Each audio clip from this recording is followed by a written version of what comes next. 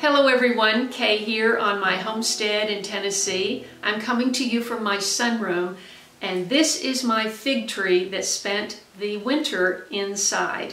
I also have a fig tree in the ground out in the garden. It's completely bare, but inside this tree is completely leafed out and I have my first fig developing. This is zone 7 and when I was in my California garden, I think it was zone 11A, Maybe, uh, of course, my fig trees were fantastic. I had never tasted a fig before I grew my own. They were so prolific, I gave them to people going down the street. I'm going to be sharing links with you in the cards above for more information. And when you only have one here and there, you don't miss it. You don't miss that opportunity to, to eat that yummy fig. So this tree will probably continue to live in the pot. We will decide. But today what we're going to focus on is rooting fig cuttings. Now our friend Charles at IV Organics YouTube channel and Plant Care Products Company has a big giveaway of fig cuttings in February and of course I didn't want to miss out. I would love to grow more figs here. We'll see what the possibilities are. But today I'm going to show you how I am going to root these fig cuttings. So let's head into the other room. I don't know about you, but when it's time to start seeds, my dining room, which is an extension of my kitchen, just becomes a seed operation. And I had to do some major cleaning off just to be able to set this up. I would love to have a big studio one day, one day, when I have a greenhouse. I'll be able to do that. So what we're going to do is we are going to root these fig cuttings. Now I received five cuttings. Let me just tantalize you with the names of these. That's got a number and letters and it's called Kelly Lynn. So I guess that's the person that donated. Many people donated, especially the Fig Hunter, and you can go to his YouTube channel, their YouTube channel, and check them out. And uh, this is Black Mission Fig. I've had those before. They're fantastic. And this is uh, the Chicago Hardy, which I believe is that one in there.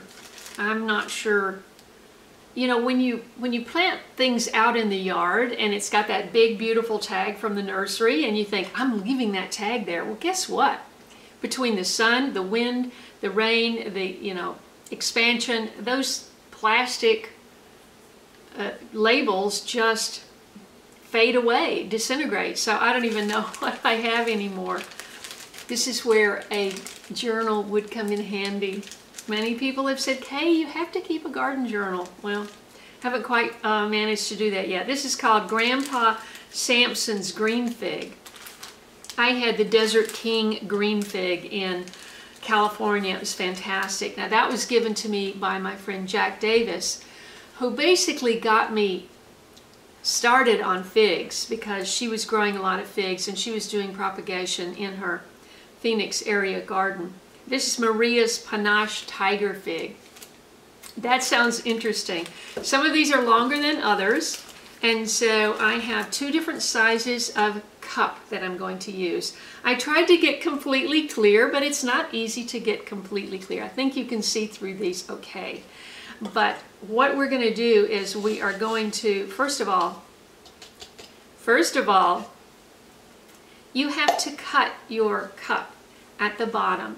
Uh, take some, you know, heavy-duty scissors, or I'm just using my uh, Corona garden clippers, which is not the actual best thing to use. I think scissors would be better. Don't want to hurt yourself. But if you just put at least four slits in the bottom, let's see, that water is going to run through.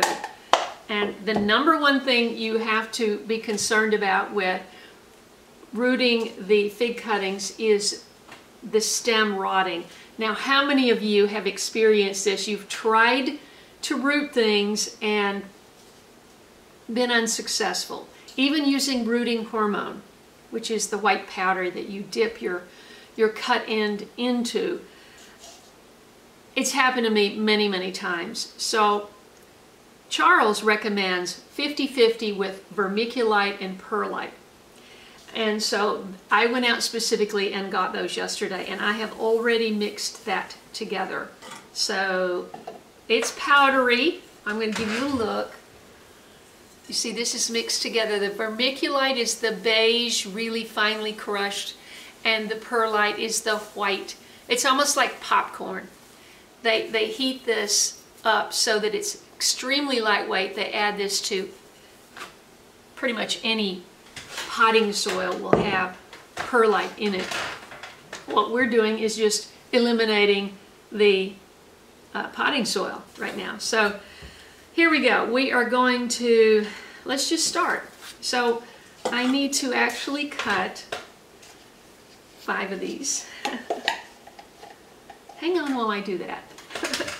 okay, so I have my cups and they've all got four holes that drip. And the important thing is that you do not want your cuttings to the stem to rot. And potting soil, you know, with the peat moss and all of that can hold the water and and you want the water to just drain through. And what we're going to do is when they're filled up, we'll put them in a tray and we'll water from the bottom. Okay, so let's get started. I have the perlite and vermiculite mixed up about 50-50 and you want them, the cutting is going to go in up to one inch from the bottom. You don't want it sitting right on the bottom, but you want enough support. So it depends on how tall your cutting is, you know.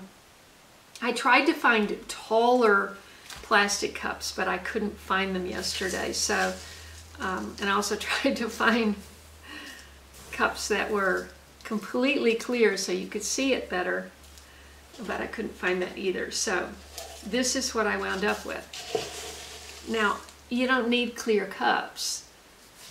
You can do it with any, you can reuse any of your cups from picking up food or whatever. But if they're clear, or if you can see through them, I found some that were clearish. They were kind of a color, but kind of clear. And let's get these filled up and then we'll unwrap our cuttings. Okay. That is very dusty and it's kind of making me want to sneeze and cough. So watch out for that when you're working on this. What you want to do is be sure and remember to make your tag for your particular fig. Now what I'm going to do is I'm actually going to tape these names onto the cup itself. And then in addition, I am going to have a plant tag, just in case. This is TFH 1845 Kelly Lynn. And I am going to tape this on my cup right away if there's one thing that I have a problem with, it's record keeping. I get so much in my head that I want to do and I go, okay, okay. What was the name of that plant? Well, I don't know. So, here we go. Now the way these were prepared, and, and what you will do if you want to create your own cuttings, is you will cut about a quarter of an inch below a node. Oh, this has more than one. Oh my goodness. Okay. Thought there was just one in here. I didn't want to open these until I actually did it because the paper towel is wet and yeah, so there's two in here. This is fantastic.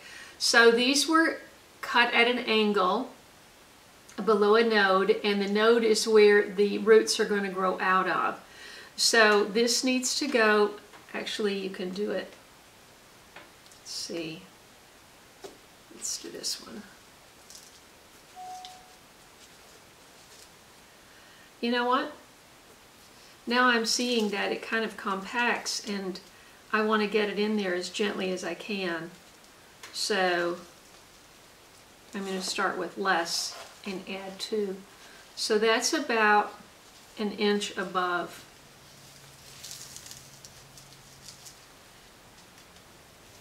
And that one is, that one is done. Ta-da! Okay, so one. This one is shorter. It's already getting, it looks like it's already get wanting to have a root coming out of the end there. I don't know if you can see that. But once again, let's do that. Back off on the, get that just right, just about an inch from the bottom. And enough of the powder to, uh, it might be a little too much. You want the roots to grow, there.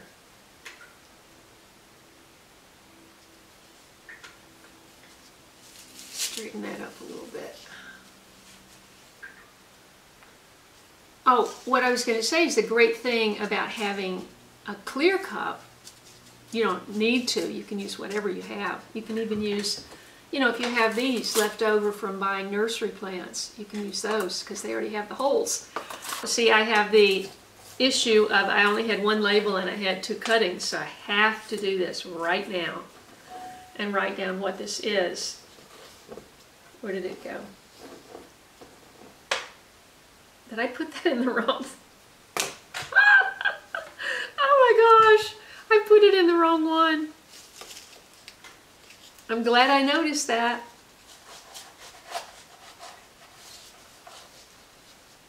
I'm not perfect, okay? I've been doing this for 11 years. I'm not perfect. I do things different ways. In fact, I was going to, I hear my battery going for my fire alarm. I guess it's time, you know those 10, those batteries that say they're good for 10 years and you have to change them every year? What's up with that? That was a 10 year battery and it's already squeaking on me. Okay, so this is, and there's absolutely nothing I can do about that battery right now. So, okay, moving along. I just want to point out, I have the products for IV Organics here. This is the, um, actually it's like, you paint it on, it's, this is whitewash, and this is for insects, rodents, and it protects against sun damage to the trunk of your trees. So we'll be doing that as the season progresses. Hmm. Well, I have been on a wild goose chase looking for the fire alarm that's beeping to tell me it needs a new battery. I can't find it. So you may hear that.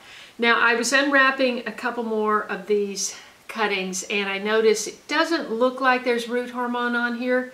It might have gotten off in the in the paper towel, but I'm just going to dip it to get it nice and coated on the bottom.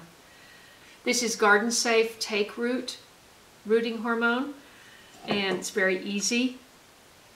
And so, let's see, let's do this one. And I kind of, you know, since this is split here, I'd really like to keep that above the, uh, above the line of the rooting medium. I'm still having a problem with this dust, so be careful when you're using this because it does cause a problem. okay. There it goes again.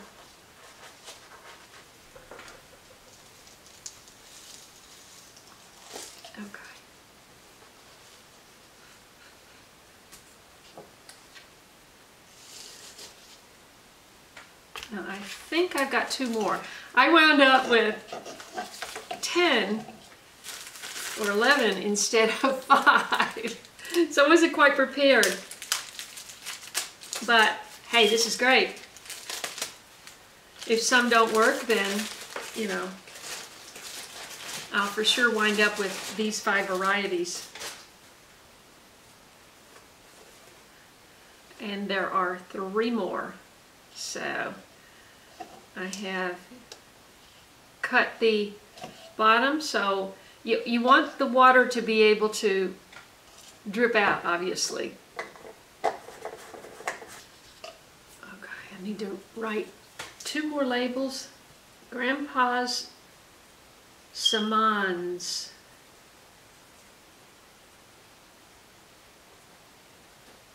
Green fig. I'm so glad to have a green.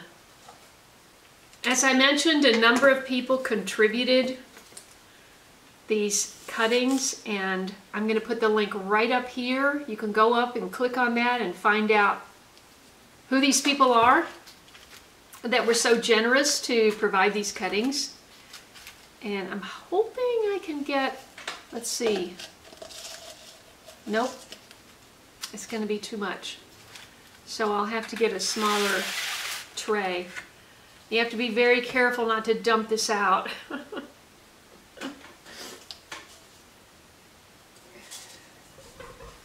you know, I don't I don't even think I don't even think I have enough. I need more.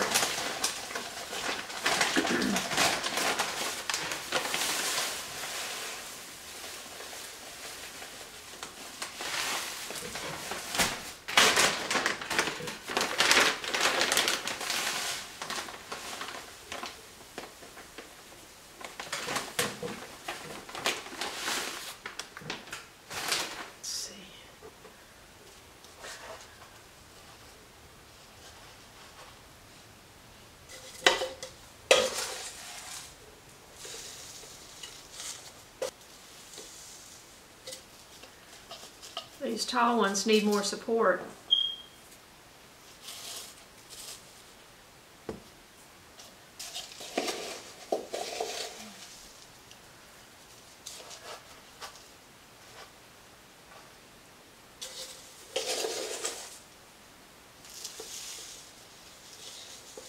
Okay.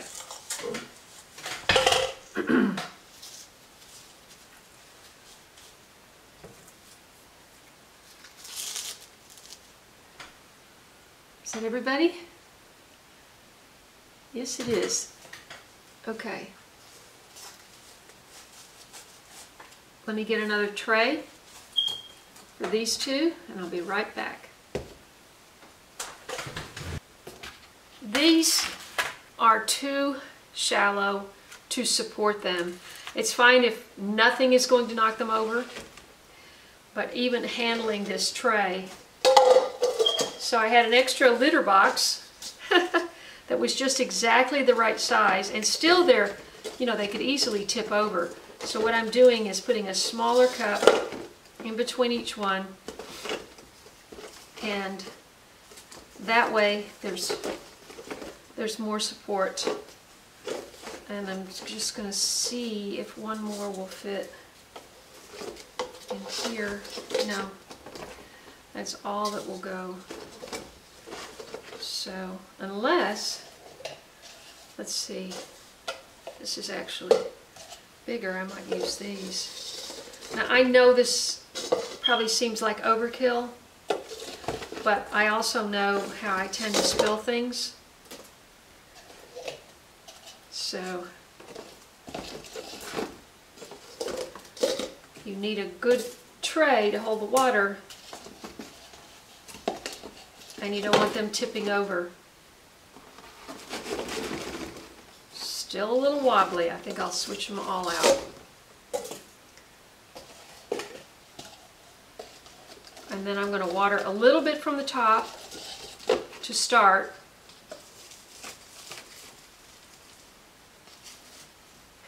And then I'm just going to water from the bottom.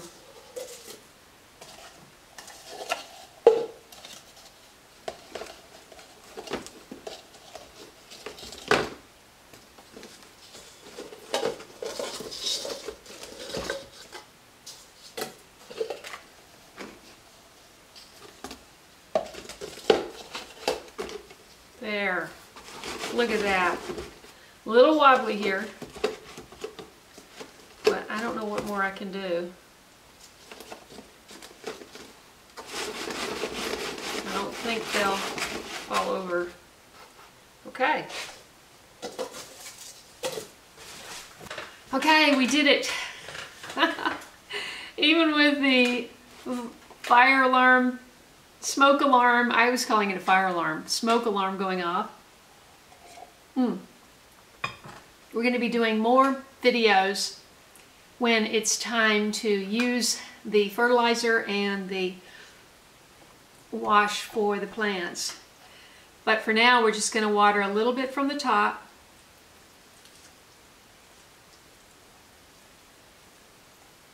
Settle that dust a little. the main thing is not to let them sit in a lot of water and rot. That's what happens so often. But if you'd like to know how to air layer propagation, Jack Davis and I did a video when she came out to California to see me and click that link right up there and you'll learn how to do that. That was a great success too. So if you've got an existing tree, you can actually um, propagate that way. Okay, everybody, I am really anxious to see these roots coming forth. I wanted a clear tray so I could just look at the tray and see through the tray to see through the cup to see if the roots are coming. But as it is, I will be able to just lift these up and see the root development. But perhaps as soon as three weeks, I can be potting these up. If you have any questions, be sure and leave a comment below. Of course, Charles will be watching this video, and you can always leave a question for Charles on his channel. Be sure and check out the Fig Hunter and IV Organics YouTube channels for a lot more information on growing figs. I hope that was interesting and helpful, and take it away, Kaye. So the jury is still out since I don't have a greenhouse and this sunroom is already packed. The jury is still out as to how I am going to grow more figs. But I've got a little time and who knows what might happen, right? So I hope you enjoyed this video. Please subscribe if you haven't already. Don't forget to click the bell for notifications so you won't miss an episode. And I look forward to seeing you again soon. I'm Kaye, and I'll see you next time. I really wish I'd thought of this stationary technique back when I was starting all of my tomatoes and peppers in solo cups. I spilled so many. It's a, it's a great idea.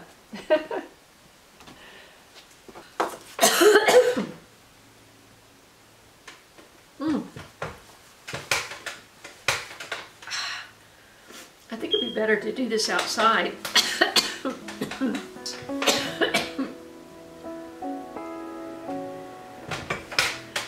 I've got this perlite and vermiculite. Is that what I have? yes.